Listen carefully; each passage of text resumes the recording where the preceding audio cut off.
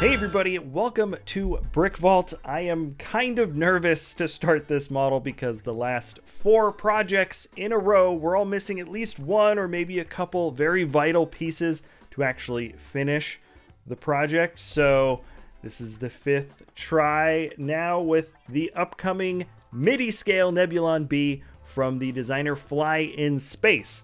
Now you might remember some of his models like the impossible looking MIDI scale Millennium Falcon or Razor Crest, and he also did some awesome Star Destroyers.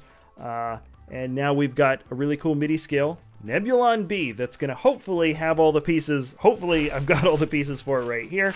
Uh, but I guess we're going to find out. Now, as per usual, the instructions for this model and all the other ones can be found at our web store, brickvault.toys. And now it's time for me to organize all the parts and actually get this thing put together.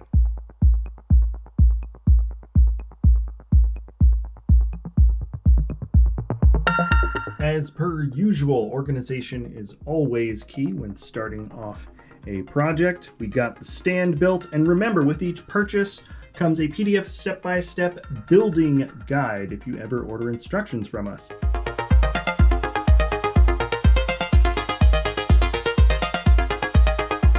You get a parts list for fast ordering your pieces online. And uh, I just made the first final connection here. So the outline of the ship is finally on the stand.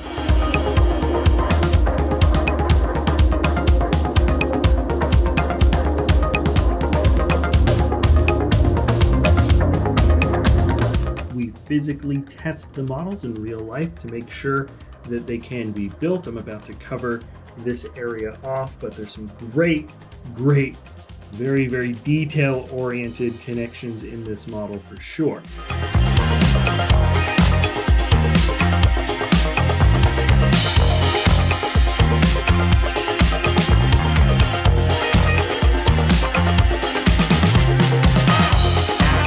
All right, it is now the beginning of day I've got pretty much the whole front end and the nose. Oh boy, the nose is difficult to put together, but it's really starting to take shape now. And let's see how long it takes to finish the back end.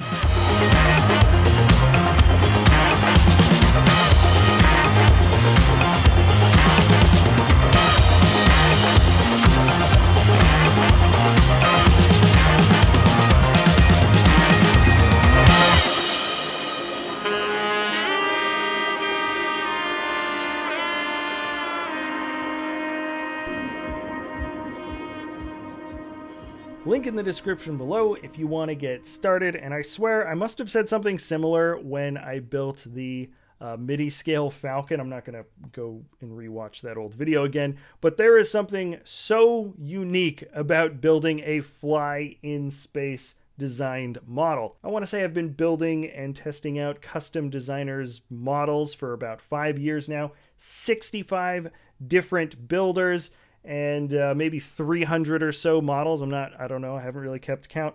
But uh, a few designers have very distinct styles that when you start putting them together, you know immediately who designed the creation. That is definitely the case when it comes to fly in space. You can always say things like highly finessed or tightly packed details, or maybe the most oversaid thing in the channel, which is attention to detail, but the way in which this designer tackles a project is a little bit different compared to anything else I've encountered. It's hard to describe, but everything is just a bit unconventional here when it comes to internal connections. It's funny, when I started this, I thought the Nebulon B isn't going to be nearly as difficult a shape to pull off as something like the Falcon or the Razor Crest, so this one's going to be a breeze. Well, Fly, Fly in Space doesn't go easy breezy. He goes for the right kind of look, no matter the cost, of the internal complexity that it may require. Now, to be perfectly fair, this is easier to put together than, let's say, his MIDI scale Falcon or Razor Crest, but this is certainly not a walk in the park when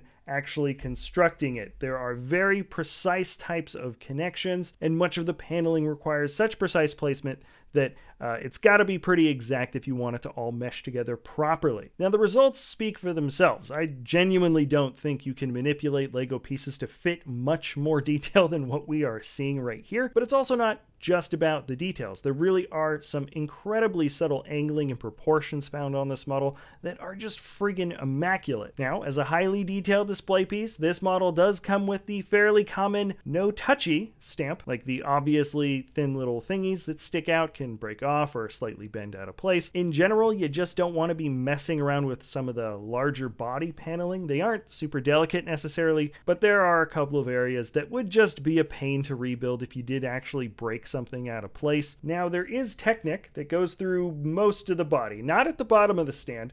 I am actually applying just a little bit of pressure towards itself just as like a safety precaution in case like the stand here wants to separate, like I can separate it a little bit. So when I pick it up, I am actually kind of like squeezing it just a hair. Obviously, you don't want to like really squeeze it and like, I don't know, have all the pieces fly out in every way. Anyways, it's pretty easy to pick up, is what I'm trying to say. And all right, there it is for the Nebulon B. I always consider this to be the ultimate kit bashing ship from like the original trilogy. Uh, they took a bunch of old models back in the day and they built a lot of spaceships just based on old airplane parts and stuff that's present in all or most of the original ships. And this is so present, especially along the nose. This is just like the ultimate, just random different kits all glued together that made this uh, fairly unique, really interesting looking uh, frigate for the Rebels. So, anyways, if you did want to build this, the instructions can be found at our web store. That is brickvault.toys. If you enjoy our content, feel free to like, subscribe, comment, share. If you have any ideas about more models in the future, please let us know in the comments below. And we'll see you next time at Brick Vault.